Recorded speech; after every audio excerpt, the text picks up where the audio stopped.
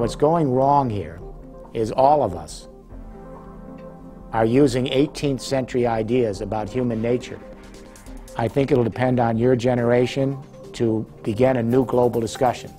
This blogosphere community has to generate this debate.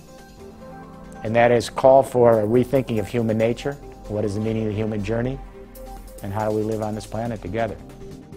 Capitalism, we know, is a, is a male concept, is a masculine concept. Empathy is a, a feminine concept in a way because it's so peculiar um, of female culture. I was um, actually wondering how you stood on that. And this book is about beginning with the great hydraulic civilizations, we began patriarchal, centralized, kind of a masculine approach to organizing our world. And we create a new distributed thinking and we recapture our empathic core and we get a balance between ma male and female side of each of us, for sure. We miss at the moment uh, a way to finance and to have a, a healthy financing of uh, everything. What's your opinion? Your optimism is uh, at risk. Financing is very interesting. I'll give you one of many ways we finance. Philips is in our group. Rudy Provoost is on my executive committee.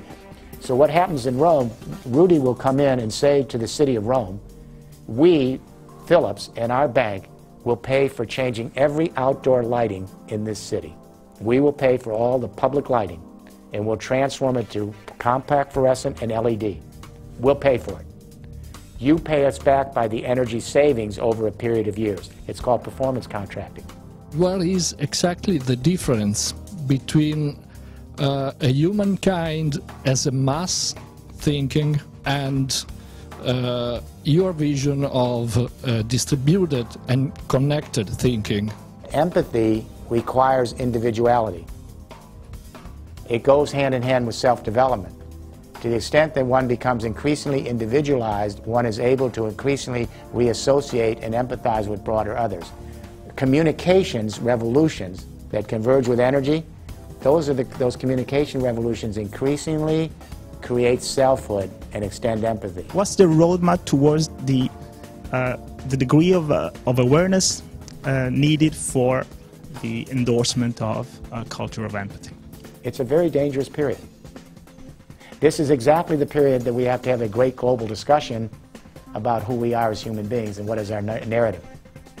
Are we homo empathicus? If so, how do we begin to have an intelligent discussion through the blogosphere and the biosphere to begin to reorient ourselves to live in one earth. What is the role of the arts in this uh, revolution? Art is, is, going to have to is going to have to play a very big role. What interested to me is performance art now and what we call momentary art. This is quite interesting. That's a stretch in empathy because we're seeing the fragility of each moment. You underlined many times the, the importance and the role of the next generations. They are going to take over us because it's biological, it's a question of time. But what if they don't get there in time? In the 60s, we had the same thing. Baby boom generation. Oh, our parents, and they were, it was a mess. I think what you ought to keep in mind is how, we, how important your responsibility is as, as bloggers to treat the, this blogosphere very seriously.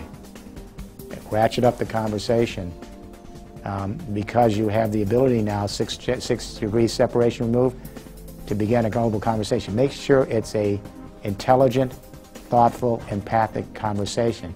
Don't let it mire down into trivia, entertainment, because you'll lose the opportunity for the species. Big, I think it's a really big responsibility.